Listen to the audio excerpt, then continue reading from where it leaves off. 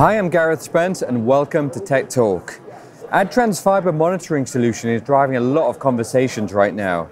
From the monitoring of PON and metro networks to mobile and even long haul infrastructures. It's proving to be an ultra capable device with widespread appeal. To share more details on ALM and provide a demo of it in action, I'm joined by Adtran's Abdala Kheireddine. Abdala, talking to customers at the show here, it seems that ALM is in huge demand. Why is it so popular? Yeah, so ALM is a monitoring tool for, for the most valuable, valuable infrastructure in any network, and that is fiber you know, traditionally up until today, most people don't actually monitor their physical fiber directly. They rely on higher layer protocols and equipment. So maybe on a transponder or an amplifier or a ROADM, if they notice some anomalies with the power levels, then they start investigating. You know, is it is it the ROADM or is there actually something on the fiber? And if they finally suspect it's the fiber, they send somebody with an OTDR. They unplug the fiber from both ends, so there's an outage. There's a scheduled outage they shoot the fiber, and hopefully it's the fiber, and they didn't make a mistake, and it was actually initially on the on the equipment, and they wasted all this time and effort and the outage and all of that. To eliminate all of this problem, you use a device like the ALM, which is really a 24 by 7 OTDR that you instrument into your network. So you couple it with your data. It runs live with the data in the background, 24 by 7, monitoring your fiber. So now, if there's an anomaly on the fiber, there's no guesswork whatsoever, right? If the end equipment notices an anomaly or they get a call there's an outage, immediately you log into this one. And if it's on the fiber, it will not only detect it, it will identify it, meaning it's on the fiber, and it will locate it for you. And so you take all of that information, you give it to your field, they go out. The first time they're going out to fix the problem and not to find it or troubleshoot it. So that's, you know, this is the, the, the most basic use case. But there's also the other use cases. A lot of the time, the same sort of scenario, if there is a silent impairment on the fiber, meaning you know there's some sort of, of, of, steady but slow degradation on the fiber, it's almost never detected until it turns into an outage. Because the, the instruments, the, the, the amplifiers and the ROADMs and the transponders are actually not looking for degradation on the fiber. With this, you can set thresholds and so that if there is a degradation on the fiber, you catch it before it turns into an outage. And so again, you save all the trouble of, of, of troubleshooting and the outages and the uncertainties and so on. So that's what makes it so popular. Uh, and, and, and you know, if it's, it's being, you know, in this show, we've been really busy showing it to customers, giving live demos, as you can see, and so on. What makes it so different to any other competing solutions? Very good. So I, will use a quote from one of our global, actually, global um, providers. So we asked him, so what, what do you think about it? He said, what I love about it is that it just works. You know what I mean? He said, I pulled it out of the box. I didn't have to provision anything else. I didn't need a management server. I didn't need, you know, difficult integration with my back, my back office, my back end. It's got the management interface on it, uh, both a GUI as well as uh, SNMP and netconf. So it was very easy. Just turn it on, give it an IP address, and we were able to do everything that we want to do with it. And then we integrated it into backend, into our backend, and it was just that smooth. Instrumenting it also into the network is extremely simple. You just basically take a coupler device, you take your data source into one port, you take this one into another port, and then you got your network port that has both the OTDR and the data. Operationally speaking, that GUI, one-step provisioning.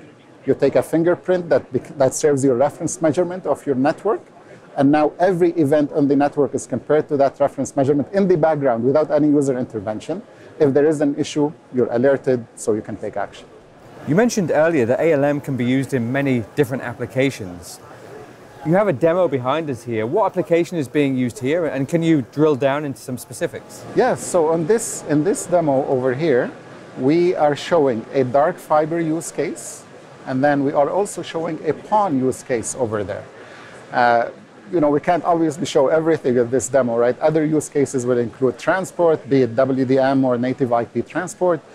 Uh, front and back haul in the mobile space is a huge use case. That one is a use case where obviously, as you know, the asset owners are not always the same, right? The tower owners and the fiber infrastructure owners are not the same. And often when there's an outage, There's finger pointing and a lot of time wasted until the, you know, the, it's narrowed down that it's on the fiber. This will eliminate that and give you a clear demarcation device or clear demarcation point uh, between the different responsible parties. And how successful has ALM been with customers? How many units have you shipped?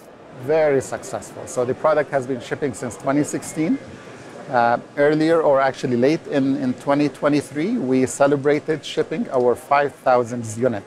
And so today we are well beyond that number. Hopefully we'll hit 6,000 sometimes real, real soon. So been very, very popular with, with all kinds of providers, tier ones, tier twos, threes, uh, governments, telcos, enterprises. Everyone who has fiber is finding a utility for this box. Can you show me this in action? Yeah, absolutely. So in this case, I have a five kilometer fiber spool over here, followed by a 500 meter fiber spool.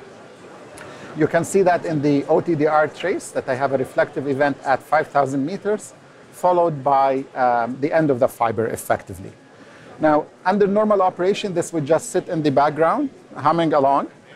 If there's an issue, you will hear about it. If not, it, you know, you, it's not even there. You will never, you will never hear from this box. So let's let's simulate a fiber cut and see how the system would react. So I'm just going to pull the fiber out at 500 meters. So we do this. And then you may, I'm not sure if you've noticed it, but there's an alarm that just popped up over here that says link loss high.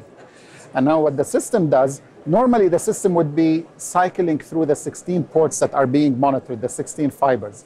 If it detects a fault on any of the ports, we stop the cycling or the monitoring cycle and we go back and focus on the port with an alarm, take a full OTDR take the new OTDR, overlay it over the reference measurement so we can see exactly what had happened and where it had happened. And that is what we call a fault analysis. My fault analysis is still running right now. Typically takes about 60 to 90 seconds or so. And there we go. So here's my fault analysis over here. You can see that there is a fault at exactly 5,000 meters. That is where I pulled the fiber. I can still see, I cannot see the end of the fiber anymore. So definitely this is a fiber cut, and the system has detected it. Moreover, if you have the system provisioned with the included and embedded GIS functionality, you can actually go and click on Show on Map, and you see where the fault location is on the map. And so that's how it works, right? Very, very simple, as you can see, simple to set up, simple to operate. And this information here, the fault location or the fault notification, is packaged in an email with the uh, OTDR trace attached and with the link to a Google map or whoever you're using as the mapping location, geo coordinates to where the fault is. Abdala, thanks for the, for the insight there with the demo. Final question What is next for ALM? Oh, okay. So there's lots actually that's coming on the horizon. So the next uh, box in the ALM family is going to be a hardened box. And we believe we're going to be the first ones to introduce this box um, towards the end of this year, towards the end of 2024. You will be able to do everything that you, that you can with the ALM today, but in a hardened form factor that you can sit in an outs- that you can put in an outside cabinet that's not environmentally controlled. And so that should be a, a great addition to the portfolio. Also, added to the whole infrastructure monitoring solution, we're getting into the sensing solutions. So coherent sensing is going to be a very big topic for us in 2025. And stay tuned because we have some great, uh, great innovative products coming that, that, will, that will hopefully create some stir in the market. Abdala, thanks for joining me today. Anytime. Thank you so much.